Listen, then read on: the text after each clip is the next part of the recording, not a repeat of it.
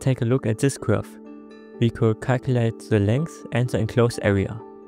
In this video we are going to explore how these two values relate to each other. Especially which curve of fixed length has the greatest area. To answer this, we will translate the problem into the language of periodic functions. That way we can apply tools from Fourier analysis, such as the Fourier series and Parseval's theorem. Before that, let's first make a guess about the solution. For this curve, we can increase the enclosed area without changing its length. The curve that maximizes the area turns out to be a circle. We can express the length and area in terms of the radius. And with a bit of rearranging, we get a formula for the area in terms of the length. Every other curve of the same length should have smaller area. This is expressed in the isoperimetric inequality. We have equality if and only if the curve is a circle. Let's now formalize this.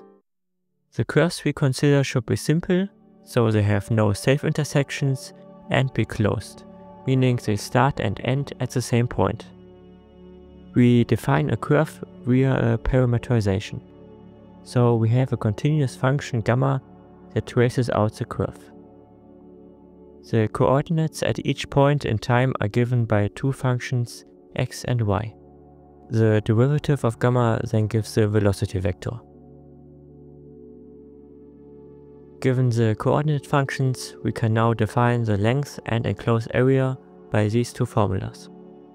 To simplify some calculations, we can now identify the real plane with the complex plane and interpret gamma as a curve in the complex plane. This leads to these simplifications where the bar denotes the complex conjugate. A single curve can have many parameterizations, since we can travel along it at different speeds. The simplest case is when we move along the curve at constant speed 1. This is called the arc length parameterization. Given a curve parameterized by arc length, the length of the curve is simply the length of the interval on which the curve is defined. Since we want to use Fourier analysis, we can now extend gamma to a L-periodic function. This is possible since the value of gamma at a and b is the same. Let's now recall some facts from Fourier analysis. Suppose we are given two L-periodic continuous functions. We can then define the Fourier coefficients for every integer n and get a formula for the Fourier coefficients of the derivative. Parseval's theorem allows us to calculate some integrals with Fourier coefficients. Now we are ready to prove the isoperimetric inequality. We assume we are given a simple closed curve parameterized by arc length. We have to prove that this expression is less than or equal to 1. First, we substitute the formula for the enclosed area. Then, using the formula for the Fourier coefficients, along with Parseval's theorem, we turn the integral into a sum.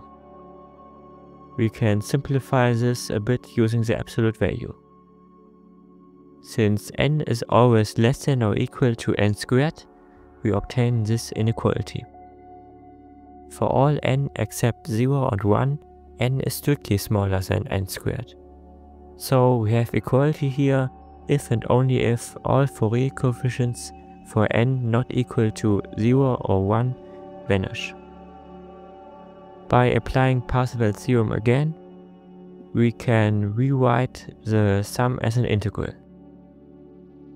As the curve is parameterized by arc length, the term in the integral is always 1, so the integral equals L.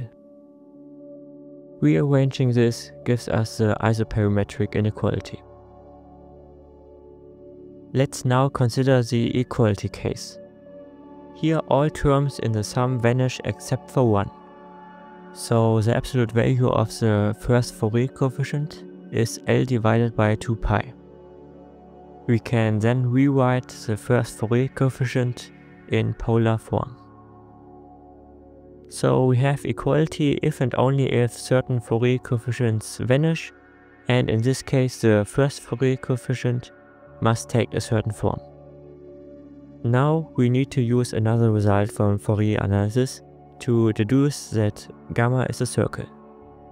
If almost all Fourier coefficients, meaning all but a finite number, of a continuous L-periodic function vanish, then f is equal to its Fourier series. In our situation, this leads to the following expression of gamma. This is exactly the parametric equation for a circle with radius L divided by 2 pi. The zeroth Fourier coefficient determines the center of the circle and the first one determines the initial angle of the parametrization.